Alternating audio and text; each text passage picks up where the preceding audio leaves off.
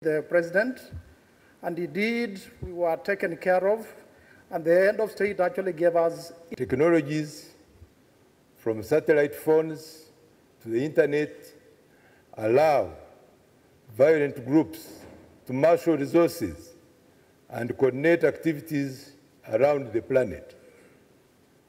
Transnational terrorist organizations can use the internet, share information on weapons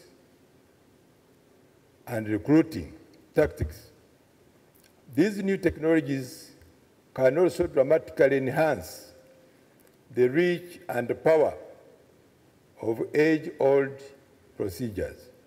It is important that nations, regions, and the continent at large work together to keep up with emerging terrorism threats to ensure regional and continental security.